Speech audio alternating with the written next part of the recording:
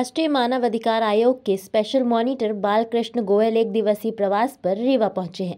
इस दौरान उन्होंने रीवा के कलेक्ट्रेट सभागार में कई विभाग के अधिकारियों की बैठक ली। इस दौरान राज्य और केंद्र सरकार द्वारा मानवाधिकार के लिए चलाई जा रही योजनाओं के संबंध में भी जानकारी ली गई।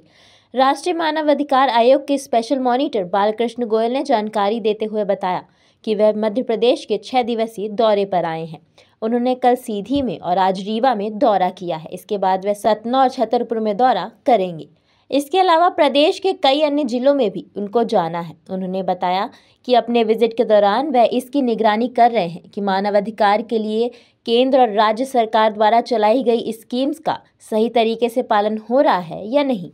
इसके अलावा राज्य और केंद्र सरकार द्वारा जिन स्कीम को संचालित किया जा रहा है, उनका संबंधित विभागों द्वारा किस स्तर पर पालन किया जा रहा है, इसकी बैठक को लेकर समीक्षा की गई है। साथ ही कुछ दिशा निर्देश भी दिए गए हैं।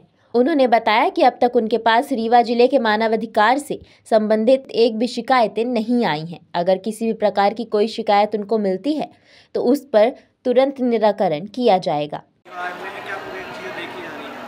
देखिए, मेरा छः दिन का मध्य प्रदेश का जो है दौरा है और मैं राष्ट्रीय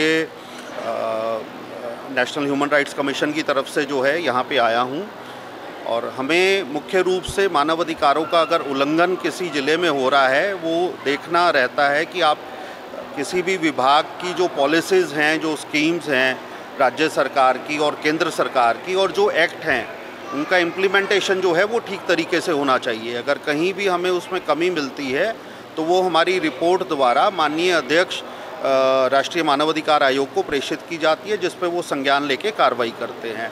इसी क्रम में आज मेरा रीवा आना हुआ है। इससे पहले मैं सीधी था, इसके बाद मेरा सतना और छतरपुर जाना होगा।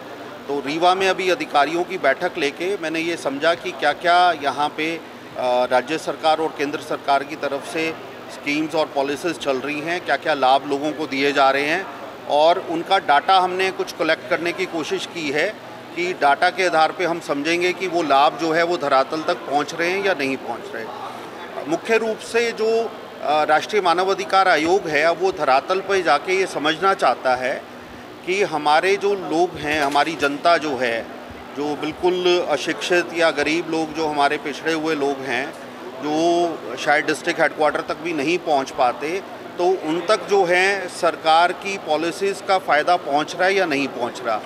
हम केवल शिकायतों तक सीमित नहीं रहना चाहते इसलिए हम खुद धरातल पे आके विभिन्न ज़िलों में जाके विभिन्न प्रदेशों में जाके इस बात का जायज़ा लेते हैं कि क्या कमियाँ हैं और उनको ठीक करने में फिर आगे कार्रवाई करते हैं। सर दिल की सुरक्षा से लेके और फिर मानव अधिकारों की मॉनिटरिंग सर कैसे तय किया गया? दिल की